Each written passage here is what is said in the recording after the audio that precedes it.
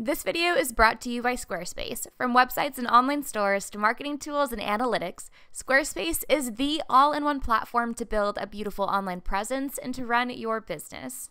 Hey everyone, Jessica Whitaker here. I am so excited to bring you behind the scenes on a little tutorial using DIY reflectors. I just moved across the country and my reflector is in a moving box somewhere in the middle of America. We're at a beautiful location in Western Washington where there is a huge, beautiful hydrangea garden, but it's in the shade and I need a reflector for these shots. So I got a little bit creative and pulled some things out of my mom's apartment to use in place of a traditional reflector. Here we have three different reflectors. If you are doing client shoots, paid work, then I encourage you to invest $15 into a traditional reflector on Amazon. I'll have mine linked down below, but these examples work great just for your friends and your family and any trade for print things that you're doing. Just wanna get creative and get a little bit inspired. I think that this video is really fun and just what you can do with items around your house. Before we hop into the video, I wanna share a free resource with those of y'all watching. If you are interested in joining an online creative community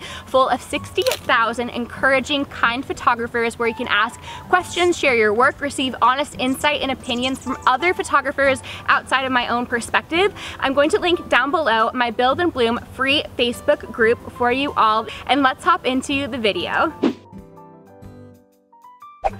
First off, we're gonna start out with some poster board. We're gonna start out in the darkest little area of the location, which is these purple hydrangeas. It's kind of an overcast day. Um, the sun is behind us and it's golden hour, so there isn't really any light reflecting coming through on Dana in this little corner so I think it's the perfect chance to use the poster board as the reflectors. And this is gonna be interesting because it's very green right now, especially with um, all of the greenery. It's gonna be very, very green light. So this will be able to somewhat neutralize it, but I think I'll have to still do quite a bit in post to make it not as green and a little bit more magenta. We're gonna see so I'm gonna have you, Anya, come on over here. Okay, so as you can see, without the reflector, we have the green reflecting from not only the grass below us, but also all the other hydrangea bushes. Now, if we put a little bit of a reflector under and we're going to hold it like this, you can see that this just illuminates a little bit more versus this where we don't have, we have a little bit more shadow. So this is going to work really, really easy and I actually like how this we can even bend as opposed to foam core where it would be straight. We can kind of bend this around a little bit. I could even have Dana hold this. I think that this is a great, great alter. Yeah, let's see here. I'll have you hold it real quick. Okay, as you, and then she could even hold it closer if I wanted to do a super close shot and have my camera right here.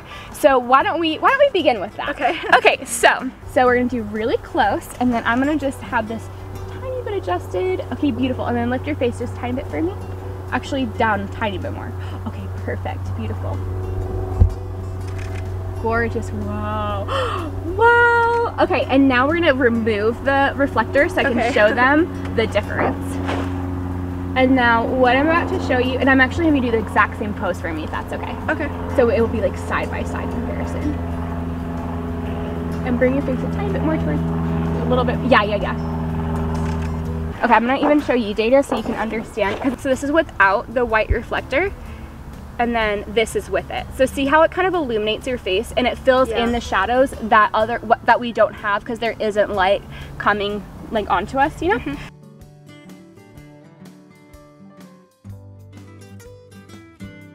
So typically if you can have a friend come along or for me, my wonderful assistant Anya, or even if your model or your subject has a friend who's coming along, they could hold this and make it a little bit easier on you. But for the sake of the tutorial, I'm holding this. But if I was on a client session, I wouldn't be so DIY, even though this is DIY, um, it would be a lot more professional to then be able to focus completely on the shot and not balancing camera and reflector. But in this case, it works totally fine. Okay, amazing. Queen, okay. Okay, gorgeous. Okay.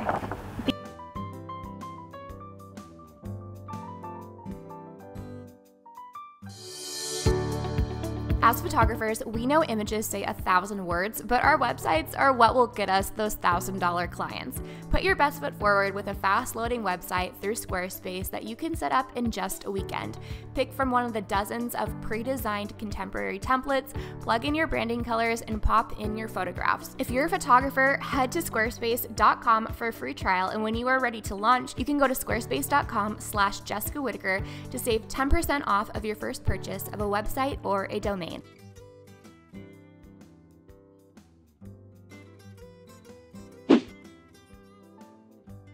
Next up, we are going to use a white tablecloth, or you could use a white sheet. If you don't have poster board on hand or don't have time to run out and pick up some poster board, you could always use a piece of white fabric. Oh my gosh, hi! Welcome to our channel.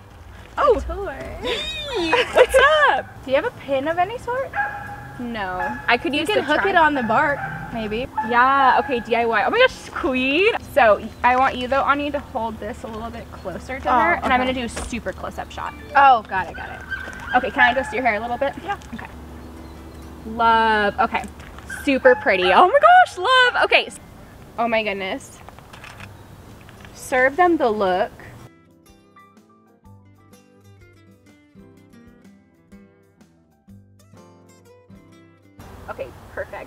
Is this the most DIY shoot you've ever been on? Yeah. You're like, yeah, I'm scared.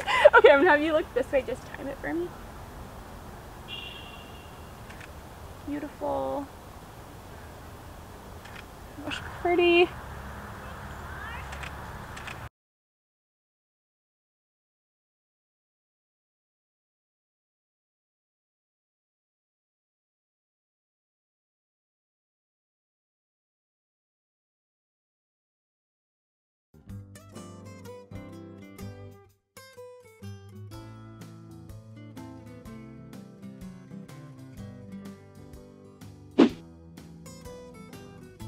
Lastly, we use, well actually will you toss it to me for videography?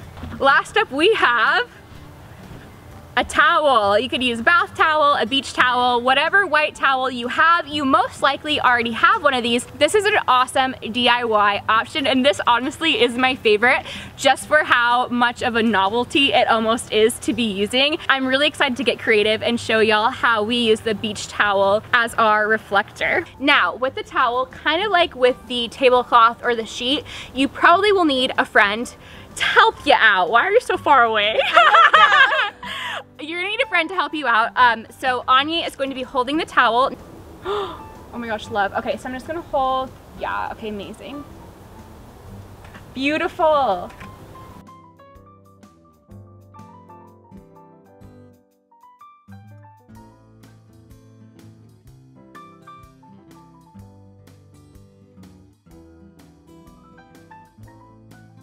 See how crazy of a difference? Okay, no reflector, mm-hmm. reflector. Oh my God. Isn't that crazy? And that's a towel. Right, right. Okay, That's a here, do you want to see Anya? All right, that was today's tutorial. I hope that you feel encouraged and inspired. This was a really fun one to create. I love doing DIY videos for y'all. Be sure to subscribe if you want to see more photography videos. I make them every single week and I love to pour into your business here on YouTube. But if you want even more on a daily basis, I share many tools and resources over on Instagram. I love doing Instagram live Q&As where I can answer your specific questions about your specific photography business. I'm also going to have the Build and Bloom Facebook group linked down below as well as my online photography workshop. So if you're interested in the marketing behind photography and running a successful, consistent photography business, that will be linked down below for y'all. I love you all so much. I believe in you and I'll see you in my next video. Bye.